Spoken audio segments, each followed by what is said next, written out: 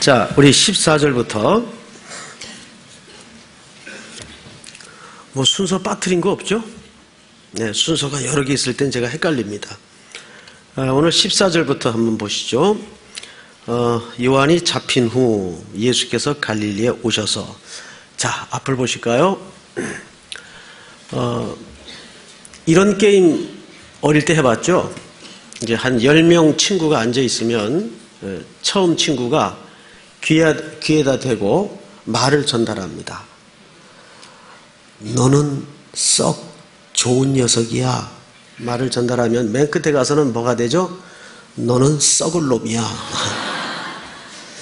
어, 기독교의 역사도 그렇게 오랜 세월이 전해오면서 왜곡되고 변질되어 왔어요. 그래서 우리는 때마다 어, 끊임없이 어, Reformed Church는 Reformed 계속 개혁되어야 합니다. 어, 우리 마가복음에서 교회가 이 땅에 왜 존재하게 되었는가에 대한 원형의 목적을 오늘 잘 설명해 줍니다. 요한이 잡히죠. 그런데 요한의 체포와 함께 성경은 슬쩍 뭘 빗대놓고 있는가 하면 예수께서 갈릴리에 오셔서 하나님의 복음을 전파했다. 그러면 요한의 체포와 예수님의 등장은 굉장히 중요한 연관성을 갖고 있다는 얘기가 됩니다. 자, 요한은 정확하게 구약의 마지막 선지자입니다. 요한의 이 마지막 목적은 예수님이 이 땅에 오실 길을 준비하는 자로서 이 땅에 존재했던 겁니다. 그 요한은 예수님보다 몇 달 먼저 이 땅에 오시죠? 6개월 먼저 이 땅에 태어납니다. 그리고 요한은 광야에 생활한 이후에 예수 그리스도의 오심을 세기를 준비하면서 그의 업무를 다 끝을 내요. 사실 요한은 왜 잡히는가 하면 그 시대 불의와 맞서다가 체포가 되죠. 어, 예수님 태어날 때 왕이 헤롯 대왕입니다. 근데 그에게는 여러 명의 아들들이 있었어요. 그 중에 둘째 아들이 헤롯 안티파스입니다. 이분이 그 헤롯 왕가의 복잡한 혈통 관계만큼이나 친인척끼리 결혼을 하는 걸 넘어서 예를 들면 동생 와이프를 자기 와이프로 삼고 또 인륜을 넘어서는 반인륜적 결혼 행태를 계속 이어갑니다. 이거를 아무도 그 시대에 지적을 할 사람이 없었어요. 한 사람이 들고 일어납니다. 요한입니다. 요한이 그 당시에 서슬퍼런 그 권력에 맞서서 그 헤롯 왕가의 이 불륜 사실을 무섭게 책망을 하고 지적을 해요. 사실은 그것이 교회의 기능이어야 하고 교회의 역할이어야 합니다. 그러다가 체포가 되고 목배임을 당하게 되죠. 지금 목배임을 당하기 직전에 요한은 그렇게 체포가 된 상황이었어요. 그렇게 붙잡힙니다. 그리고 사실상 이제 요한은 구약의 마지막 선지자로서 이 땅에 운명을 다하게 됩니다. 하나님은 어느 시대건 그리스도를 믿는다고 해서 꽃길을 깔아놓고 꽃가마를 태우는 게 아니에요. 그 사람에게 어떤 때는 평생 욕먹는 역할을 맡겨요. 어떤 사람에게는 계속 박수 갈채만 받는 역할을 맡겨요. 그러면 욕먹는 역할을 맡은 자와 박수 갈채를 받는 자의 역할을 맡은 자와 누가 더 낫냐? 비교할 수 있는가요? 그건 비교할 수가 없는 문제입니다. 우리는 이것을 하나님의 주권적 시각에서 인식을 해야 돼요. 요한은 말 그대로 광야에서 허접한 삶 속에서 정말 세상의 돌팔매질과 비난받는 역할을 하다가 자기 책무를 다하고 마지막 모습조차도 목배임을 당하는 참수형을 겪으면서 숨져갑니다. 그것이 하나님께로부터 그가 이 땅에 태어났던 생의 역할이었어요. 그는 그 역할을 멋지게 하다 간 겁니다. 이것은 굉장히 중요한 시각입니다. 그리고 이제 그 뒤를 예수님이 이어서 그 요한에게 세례를 받고 드디어 역사의 전면에 일어나는 거예요. 근데 여기 보면 예수께서 어디에 오시죠? 갈릴리에 오셔서 그리고 지금부터 이 갈릴리는 예수님의 평생의 사역 현장에 매우 중요한 현장이 됩니다. 갈릴리는 우리 서울 시내로 말하자면 달동네 같은 아주 처참한 현장이에요. 옛날에는 난지도라 그랬죠. 쓰레기 더미에 세워진 동네, 난지도입니다. 그런 동네가 갈릴리입니다. 예수님은 일부러 그 동네에서부터 그분의 사역을 시작하셨습니다. 그리고 부활 후 제자들과 어디서 만날 걸 약속하죠? 내가 먼저 갈릴리로 갈 것이다. 부활 후 약속도 이 갈릴리에서 약속이 이루어져요. 갈릴리는 그만큼 성경 전체에서 예수님의 사역의 중요한 주된 무대가 되고 현장이 됩니다. 그리고 그 다음 절을 볼까요? 갈릴리에 오셔서 뭐를 전하죠? 하나님의 복음을 전파하여. 자, 앞을 보십시다. 어, 그냥 복음이라 그러면 못 알아들어요? 꼭 하나님의 복음이라 그래 알아듣습니까? 여기는 의도가 있어요. 아니, 뭔 의도가 그렇게 많냐? 예, 성경은 이렇게 의도로 가득 차 있습니다. 그래서 우리가 하나님의 마음에 집중하지 않으면 성경을 읽어도 거들게 됩니다. 그래서 정말 말씀에 집착해서 여기 하나님이 어떤 의도가 있나 한 단어 한 일획이라도 놓치려 들어서는 안 됩니다. 하나씩 하나씩 붙들고 한마디도 놓치지 않도록 여러분 사랑하는 사람이 편지를 건네주면 그거를 읽고 또 읽고 요 행간이 무슨 의미일까? 나를 좋아한다는 얘기일까? 아직 고려해 보겠다는 얘기일까? 그걸 되씹어 보고 쥐하로 묵상하고 그러지 않겠어요? 성경은 그 이상의 책이에요. 성경은 그 이상의 책이에요. 한 절 한마디가 1.1핵도 하나님의 의도가 곳곳마다 묻어져 있다는 것을 아셔야 돼요. 그래서 여기에 그냥 복음이라 그래도 될 텐데 왜 하나님의 복음이라 그랬을까요? 여러분 이때 복음이라는 말은 기독교가 만든 말도 아니고 기독교만 썼던 말도 아니에요. 복음이라는 말은 누가 썼던 말인지 아십니까? 유앙겔리온이라는 말은 사실상 로마 황제의 명령어가 유앙겔리온 복음입니다. 그 시대를 살았던 사람들은 적어도 복음이라고 얘기했을 때는 그 얘기가 황제의 명령인 것을 누구나 다 알았어요. 그러면 조금 더 깊게 들어가서 황제의 명령은 주로 어떤 내용을 담고 있는가 두 가지입니다. 첫째, 첫째, 로마는 온 세상에 걸쳐 전쟁을 벌리고 있었습니다. 그리고 항상 이겼고 정복자가 되었어요. 그럼 반드시 그 국가에다 뭘 매기죠? 세금을 어마어마하게 부과합니다. 그러면 그 식민지 국가에다가 세금을 부과하는 주된 명령은 황제로부터 시작이 돼요. 그 국가에 세금을 부과하는 것은 로마 시민들에게는 뭘까요? 복음이에요. 수입이 그만큼 들어오니까. 그러나 상대적으로 그것을 감당해야 되고 겪어야 되는 식민지 국가 백성의 입장에서는 그것은 절대 복음일 수가 없죠.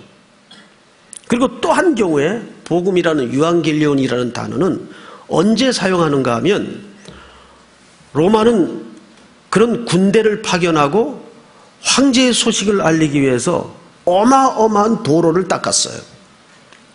그 도로는 지금도 가면 도처에 깔려 있습니다.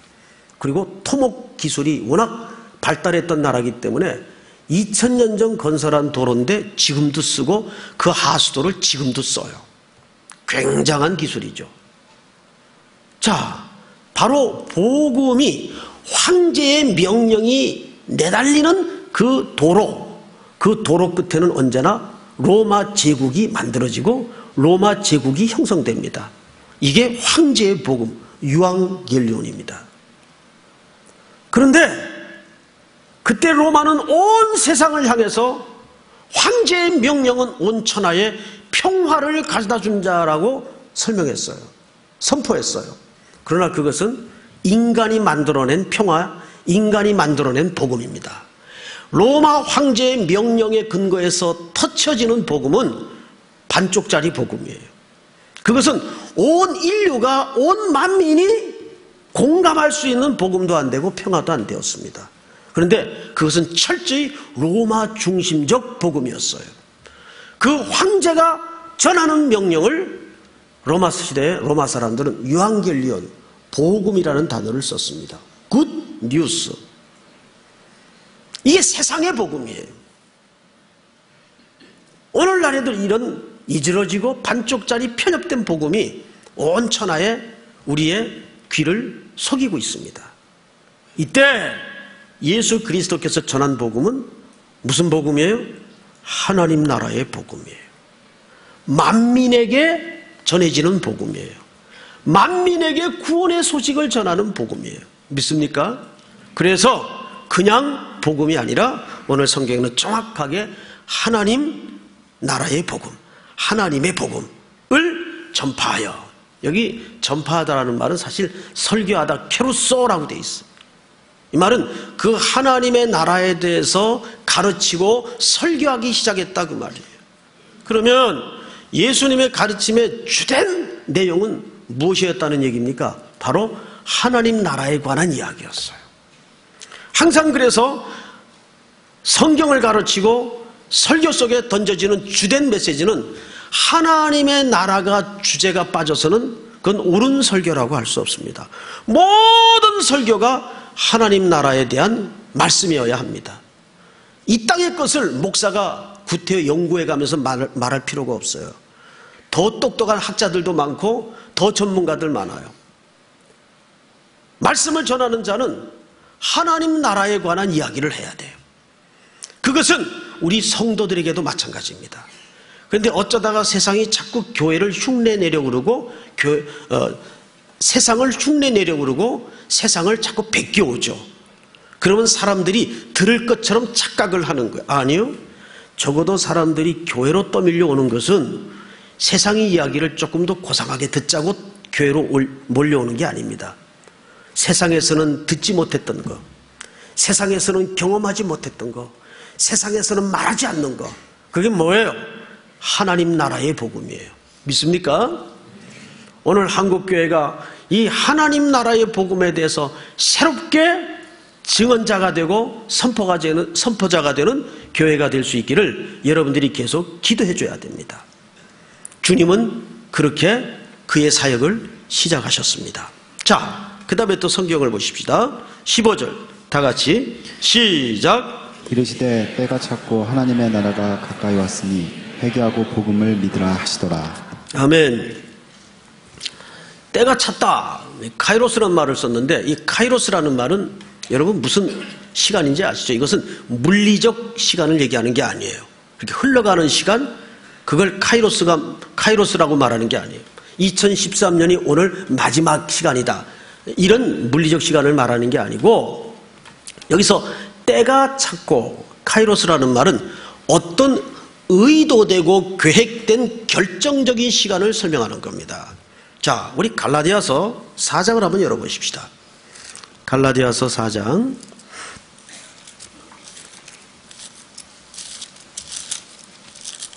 같이 읽겠습니다.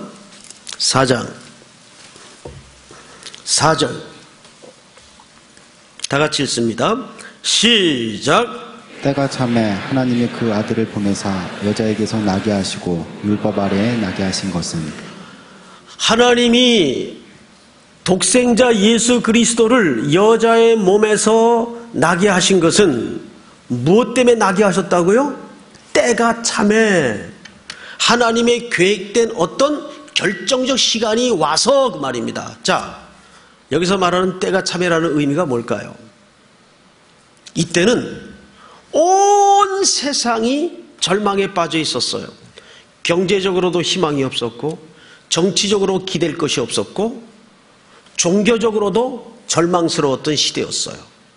그리고 온 천하 백성은 로마라는 강력한 국가 밑에 힘의 물리적인 지배 아래서 깊은 장탄식을 터뜨리며 신음 속에 있을 때입니다. 그리고 온 백성들의 마음 속에는 때문에 더 지독스럽게 주님이 언제 오실까? 주님 오실 날만 대망하여 기다리고 있었어요. 그래서 이때야말로 가장 예수 그리스도의 오심, 메시아 대망 사상이 절정에 달할 때입니다. 왜? 그분만이 오셔서 이 어려움을 해결해 줄 수 있고 우리를 구원해 줄 수 있다는 믿음과 소망 때문입니다. 바로 그 때가 찼다 그 말이에요. 그런데 그와 같은 원리로 지금 이 시대를 보면 정말 주님 다시 오실 시간이 가까운 것 같아요. 저는 확실히 믿습니다. 주님 다시 오실 시간이 정말 가까웠어요. 이 주변의 여러 가지 징조를 보면 성경에서 주님이 예고해 주셨고 사인을 주셨던 모든 징조와 징후들이 도처에서 보여지고 만져지고 느껴지고 있어요. 그것은 단순히 육감과 감정과 감성의 문제를 뛰어넘어서 성경이 이 시대의 징조를 정확하게 설명한 내용들이 세계 도처에서 근대사에 펼쳐지고 나타나고 있어요. 정말 그 때가 찼어요. 그래서 우리 3일교회 젊은이들과 성도들은 더욱더 그 예수님의 다시 오실 그 시간에 집중해야 돼요. 신랑이 다시 오신다는 그 정점을 향해서 우리의 인생의 모든 타임 스케줄을 이제는 맞춰야 돼요. 2014년도에는 그 다시 오실 시간에 대한 타임 스케줄을 더 조이고 맞추어서 우리의 온 인생을 드려야 돼요. 떠나야 돼요. 장흥으로 떠나고 목포로 떠나고 일본으로 떠나고 가서 화급한 마음으로 죽어가는 그 영혼들을 향해서 주의 복음을 절실한 마음으로 절벽 벼랑 끝에 서 있는 그를 붙들고 이리로 가면 죽어! 소리 질러야 돼요. 내가 무슨 내용을 전할 뭐 방법을 모르겠으면 소리라도 질러야 돼. 소리라도. 당신 글로 가면 죽어! 소리라도 질러야 돼. 소리라도 못 질러요. 내가 어찌할 수 없으면 여기 사람 빠졌어요. 소리라도 질러야 돼요. 오늘 뭐 잘못 먹었나? 잘 먹었어요. 잘 먹었어요. 오늘. 된장찌개 잘 먹었어요. 집사님이 잘 먹고 소리 지르라고 밥상 잘 차려주셨어요. 정말이에요. 지금 시대를 보면 그런 애끓는 마음이 있어요. 여러분 직장에서 소리라도 질러야 돼요. 지금 그 때가 찼단 말이에요. 카이로스 때가 참해. 성경을 또 보십시다. 때가 찼고 하나님의 나라가 가까이 왔으니 사실은 이 시제를 보면 과거 완료형으로 써 있어요. 그런데 이 과거 완료형이 아직도 끝나지 않은 미완료로 또 이중적으로 쓰여집니다. 왜 그럴까요? 언제나 하나님의 나라는 그 나라를 받아들인 백성에게는 과거 완료지만 아직도 받아들이지 않는 백성들에게는 미완료예요. 맞죠? 미완료예요. 아직도 하나님의 나라가 그 인생 속에 미완료형으로 진행되고 있는 심령들이 도처에 깔려 있단 말이에요. 그래서 하나님의 나라가 가까이 왔으니 뭐하고 회개하고 복음을 믿으라 하시더라. 여러분 오늘 이 시대는 복음이 너무 물렁해졌어요. 너무 복음이 나이롱이 됐어요. 나이롱이라는 말 무슨 말인지 아세요? 저희 초등학교 다닐 때는 나이롱 양말을 신었어요. 한 번 스크러치가 나면 금방 구멍이 나는 양말이에요. 근데 이놈이 잘 늘어나요. 당기는 대로 늘어나요. 나이롱. 그래서 왔다 갔다 하는 신자를 나이롱 신자라 그랬어요. 엿가락 늘어나듯이 자기 편리하게 신앙생활 하는 사람을 나이롱 신자라 그랬어요. 오늘 어느 교회 가든지 교회가 지천에 깔렸는데 설교 시간에 목사님이 회개해야 됩니다. 이런 설교만 하면 누가 이 자리에 앉아 있겠어요? 야, 교회가 3일교회밖에 없냐?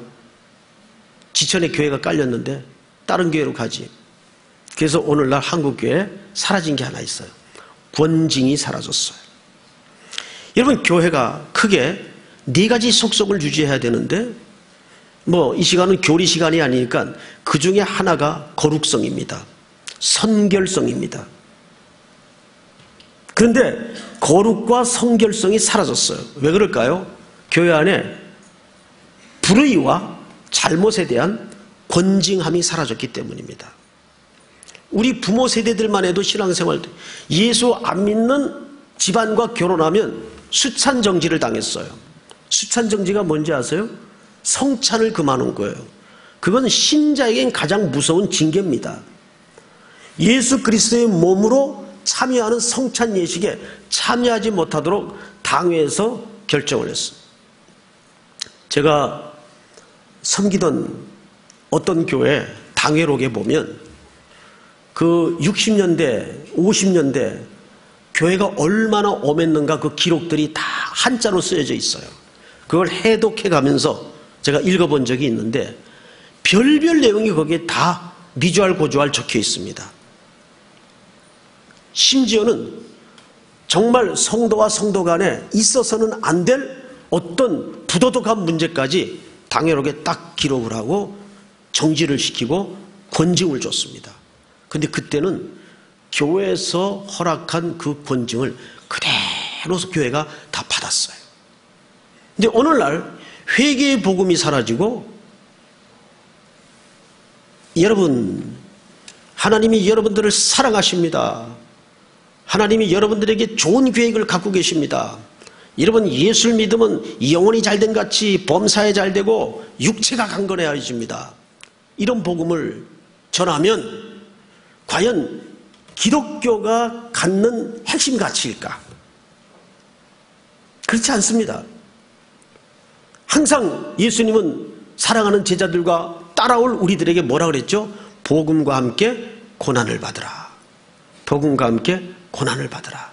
우리가 그분의 신부가 되고 그분의 신부로 이 땅을 걷기로 작정하는 순간 수많은 불이익과 고난과 역경이 따를 수밖에 없다는 것을 암시하고 있어요.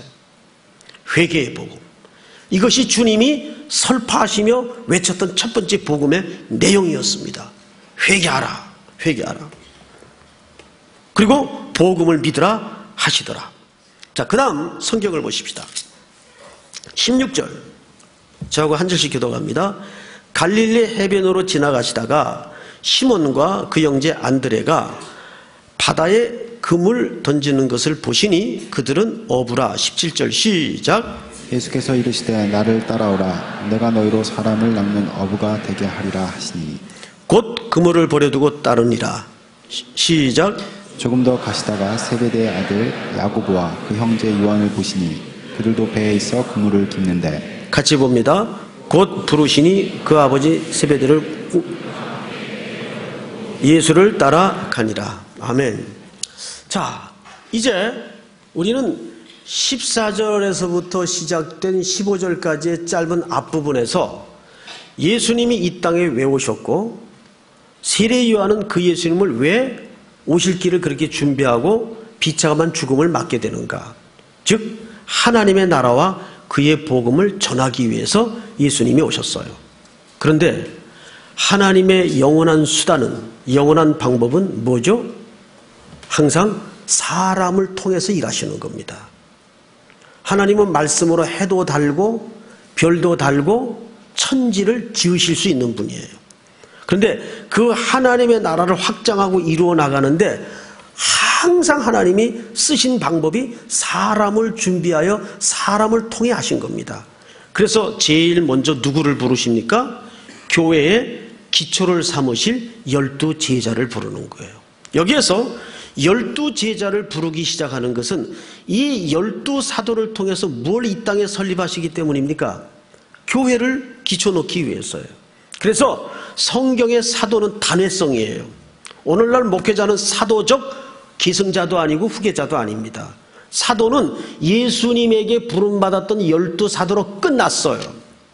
그 이후에 오늘날 뭐 교, 저, 목사들이 사도다 이렇게 얘기하는 것은 잘못된 가르침입니다.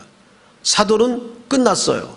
우리는 그 사도들의 정신, 가치, 목적지 그것을 공유하여 그 뒤를 따르는 주의 종들일 뿐이에요. 사도는 예수님 시대로 끝난 거예요. 그러면 그 사도가 존재해서 감당해야 됐던 역할이 뭐냐? 하나예요. 이 땅에 그리스도의 몸인 교회를 세우기 위해서 열두 사도가 제자로 부름을 받는 겁니다. 자, 그러면 이 땅에 교회가 설립된 가장 중요한 목적이 뭐예요? 복음 전파입니다. 어떤 것도 이 복음 전파의 사역을 대신할 가치는 교회에서 존재할 수 없어야 돼요. 교회의 모든 우선적 가치는 선교와 복음 전파입니다. 그러기 위해서 뭘 불렀어요? 사도를 부르고 교회를 세웠다 그 말이에요. 아멘. 자, 그런데 성경을 좀 볼까요? 17절. 예수께서 이르시되 나를 따라오너라 하시니 아, 나를 따라오라 내가 너희로 사람을 낚는 어부가 되게 하리라 하시니 여기에서 중요한 것은 어, 이것이 문장 중간에 있는데 나를 따라오너라 할 때 이 단어가 대문자로 돼 있어요. 헬라 문법에는 문장 원래 대문자는 문장을 시작할 때 대문자를 쓰죠. 영어도 그렇고 우리는 뭐 대문자가 따로 없, 없으니까 그런 문법이 없지만은 근데 이거는 문장 중간인데 대문자를 썼어요. 근데 언제 문장 중간인데도 불구하고 대문자를 쓰느냐? 굉장히 중요한 이야기를 시작할 때 문장 중간일지라도 대문자 알파벳으로 글을 시작합니다. 그런데 원문에 보면 이 대목이 정확히 대문자로 시작을 했어요. 그 말은 이 말이 굉장히 중요하다는 얘기입니다. 내가 너로 뭐가 되게 하리라? 사람을 낚는 어부가 되게 하리라. 자, 여기에 우리가 이제 세 가지 초점의 말씀을 나누고 오늘 말씀의 결론을 맺겠습니다. 성경을 잘 보십시다.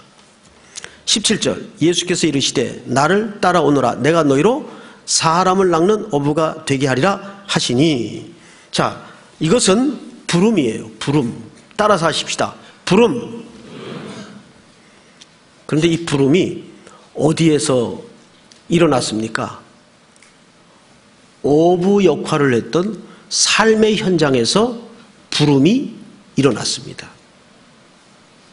우리가 보통 부름을 뭐라 그러죠?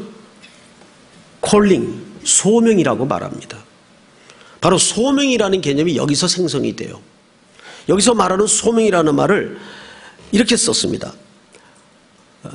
네칼 레션 여기에서 콜링이라는 말이 발생을 해요. 보통 콜링은 소명 또는 부름 또는 직업을 얘기합니다. 그런데 이 어부들의 직업이 바뀌었어요, 안 바뀌었어요? 바뀌었어요, 안 바뀌었어요? 안 바뀌었죠? 똑같이 어부죠. 그런데 뭐가 바뀌었어요? 속 내용이 바뀝니다. 이들은 지금까지 뭐를 낚는 어부였죠? 고기를 낚는 어부였어요. 그런데 예수님이 그 직책을 이용해서 내가 너로 사람을 낚는 어부가 되게 하리라. 자, 여기에 우리 그리스도인들의 중요한 과제가 하나 있습니다. 이 부름이 삶의 현장에서 일어났다는 거예요. 학교 선생님은 학교 현장에서, 방송인은 방송 현장에서, 또는 가정주부는 가정 현장에서 뭐가 일어났다고요? 부름이 일어났다고요.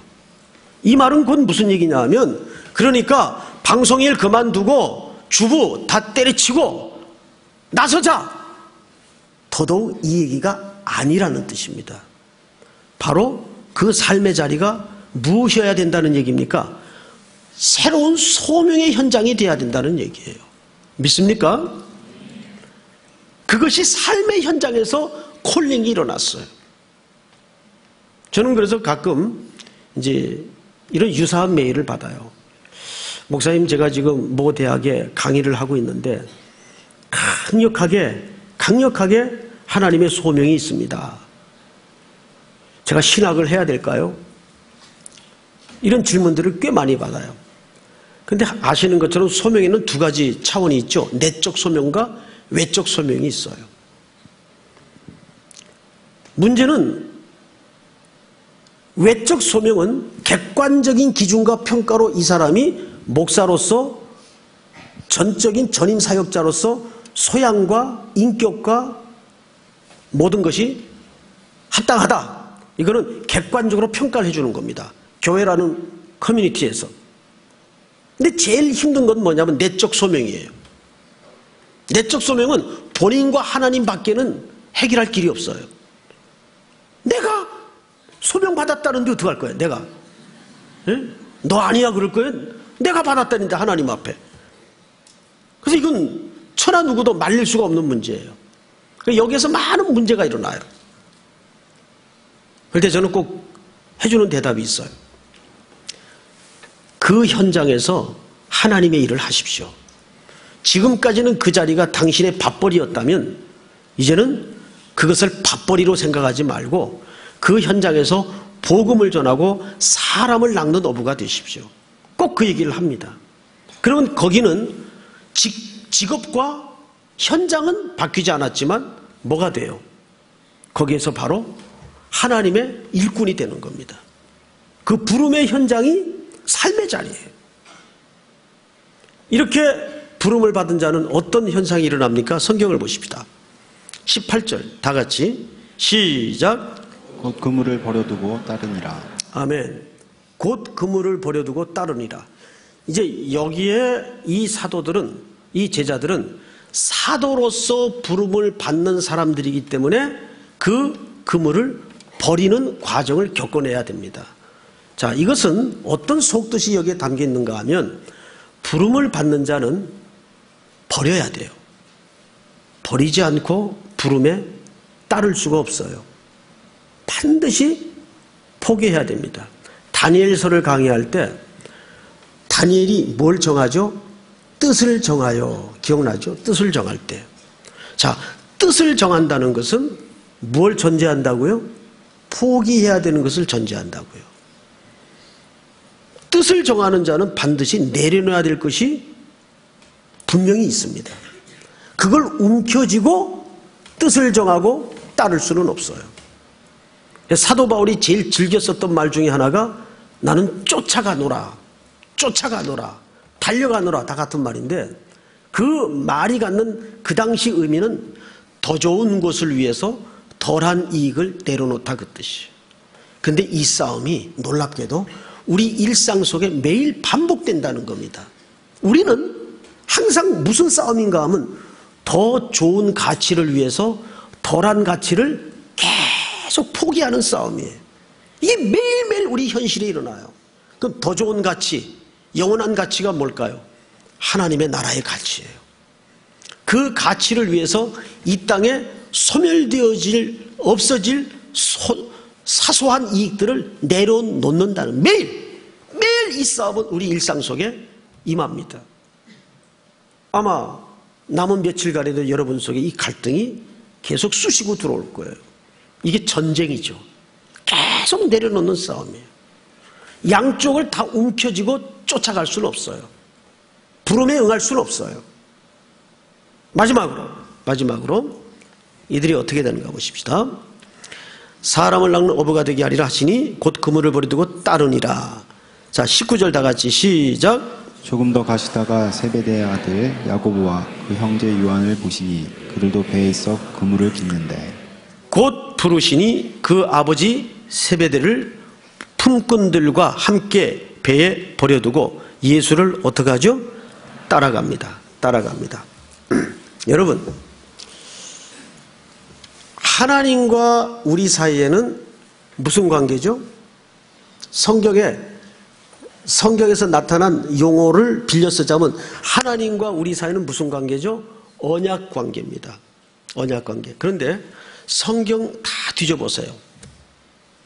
하나님은 절대 종과 언약하지 않습니다. 누구와 언약합니까? 자기 백성, 자기 자녀와 언약해요. 근데 성경에 나타난 베리트라는 언약은 사실상 일방적인 언약입니다. 왜? 상대가 이 언약을 지켜낼 실력이 안 되기 때문입니다. 근데 반드시 한 가지 원칙이 종과는 언약하지 않아요. 종은 부리고 소유하고 시키면 되기 때문에 언약할 필요가 없습니다. 그런데 하나님은 우리를 늘 뭐라고, 뭐라고 불러주시죠? 언약 백성이라고 불러주세요. 그 말은 무슨 뜻입니까? 우리를 하나님이 부르시고 소명을 주시고 일을 시키되 우리를 기계처럼 우격다짐으로 그의 어떤 파워를 통해서 일시키지 않는다 그 말이에요. 계약이라는 것은 대등한 관계에서 하는 겁니다. 맞죠? 계약은 대등한 관계에서 해요. 이 자체가 감격이에요. 근데 사실은 우리가 하나님과 대등할 수가 없잖아요. 그래서 하나님이 우리에게 다가와 해주신 계약은 베리트라는 계약이에요. 그 말은 일방적인 계약이에요. 아들을 내놓으시고 죽이셔서 아들의 죽음을 걸고 우리에게 약속을 하셨다고요. 너희는 틀림없이 내 백성이고 내 자녀인데 내가 너희와 계약하겠다. 근데 저쪽이 계약을 이행할 실력이 안 돼. 반드시 이 계약은 망가지게 돼 있어요. 그런데 해요. 하나님이 왜 할까요? 왜 할까요? 이 계약이 안 될 걸 뻔히 알고도 계약을 해요. 그런데 계약이 깨지지 않아요. 누구 때문에? 그리스도 때문에. 그래서 그 아드님의 목숨을 담보로 우리와 사랑의 언약을 하시는 거라고요. 하나님이 우리를 생각하시는 것이 그렇게 우리를 대등한 인격자로 대우하시고 부르시고 사역을 감당케 하시는 겁니다. 그래서 항상 성도의 삶은 제일 밑바닥에 깔리는 기초가 사랑해서 하는 겁니다. 오늘 아침에도 오늘 아침에도 말씀 가운데 그런 유사한 말씀을 드렸지만은 올 한 해 동안 어떻게 사셨습니까? 실패해도 괜찮습니다. 왜? 그분이 신실하시기 때문입니다. 그분의 사랑은 끝까지 감당해 주시는 사랑이에요. 아들을 걸고 하시는 사랑이에요. 그 사랑 안에 저와 여러분들이 머물러 있다는 겁니다. 하나님이 신실하세요. 믿습니까?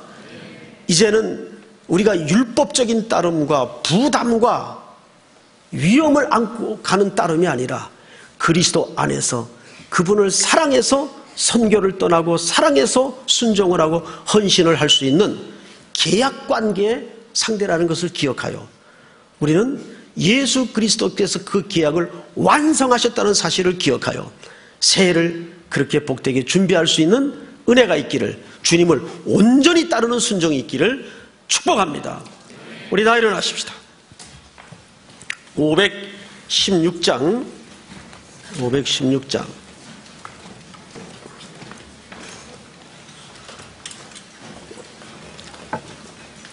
옳은 길 따르라 의의 길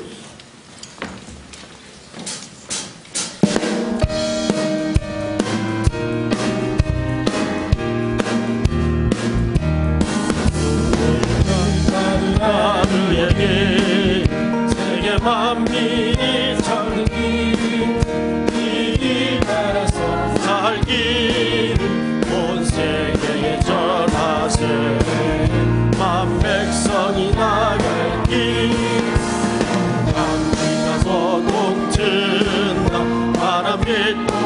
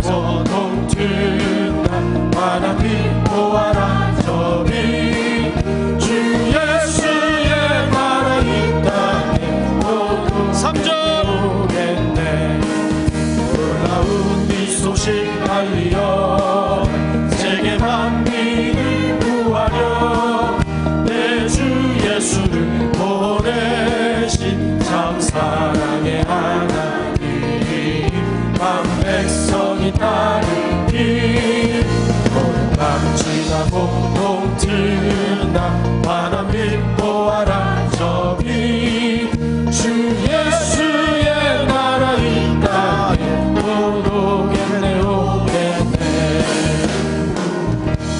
할렐루야. 우리 이 시간 다 같이 한번 기도합시다. 두 가지를 놓고 기도합시다. 주님, 내 평생 주님만 따라가는 인생이 될 수 있도록 도와주시고 2013년도도 그렇게 흔들거리며 주님의 은혜 때문에 여기까지 왔지만 2014년도는 하나님을 온전히 쫓고 예수 그리스도만 따라가는 한 해가 될 수 있도록 도와주시고 이제 시작되는 겨울 선교 무조건 두 곳 이상 동참케 하시고 순종케 하시고 내가 할 것 없지만 가서 비명과 소리라도 지르고 올 수 있도록 은혜를 주시고 순종케 하여 주시옵소서. 이 복된 기쁨의 소식을 알지 못하고 죽어가는 저 영혼들을 향해서 주님 저들을 살려주시옵소서. 소리라도 지르고 오게 하여 주시옵소서. 순종케 하여 주시옵소서. 우리 나같이 한번 주여 부른 다음에 소리내어 기도합니다. 주여! 사랑하시는 아버지 하나님 은혜를 감